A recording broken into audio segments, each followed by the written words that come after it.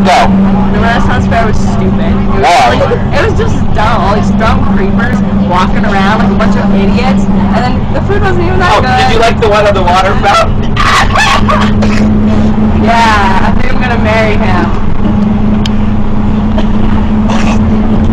Go on. Yeah. It was just boring, and there's nothing to do. and it's like, no, let's go. All the walking we did.